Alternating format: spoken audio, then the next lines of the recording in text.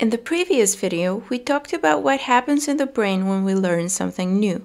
But what are some factors which make for better learning? Emotions. New information that is paired with different emotions is more likely to be remembered than neutral events because of the increased attention, better memory encoding, and memory retrieval. That explains why highly emotional events like birth, celebrations, and death can become unforgettable. Research suggests that dopamine, the motivation and reward molecule in the brain, can be used to hijack learning by increasing attention spans. Oxytocin is the neurochemical responsible for empathy and trust. Behavioral studies show that oxytocin release in the brain makes people more trustworthy, generous, charitable, and compassionate. That is why it's also called the moral molecule and the love hormone.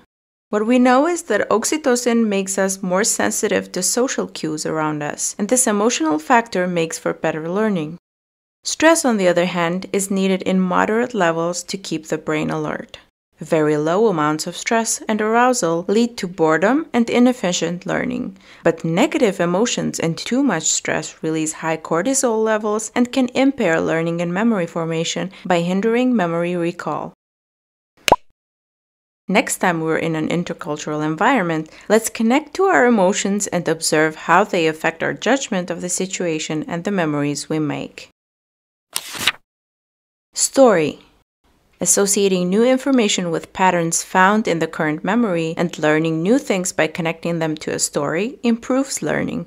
A story taught as a whole before being separated in parts is recalled better. Memories are recalled better with context and as complete pictures.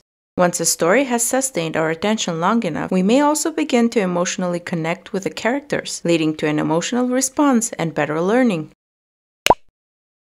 When learning elements of a new culture, focus on the story behind them. Location and time. Associating information with a spatial and temporal context increases the likelihood of remembering it.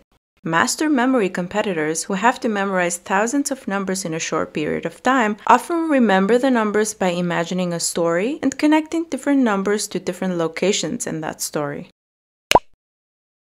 Exploring different locations helps us in learning new cultural elements.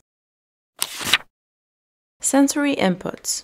Memory is strengthened by multiple sensory inputs. For example, if we both see and hear something, we're more likely to remember it than if we only hear it.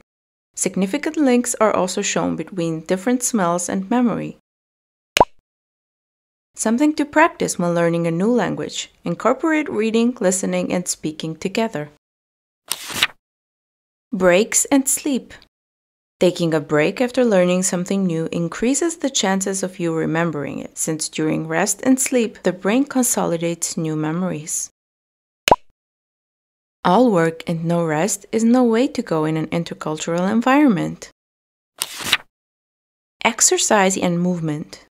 When we move, we increase blood flow, oxygen, and glucose amounts in the brain. 30 minutes of physical activity during the day can induce neuroplasticity. This leads to higher perception and attention and improves learning and memory formation.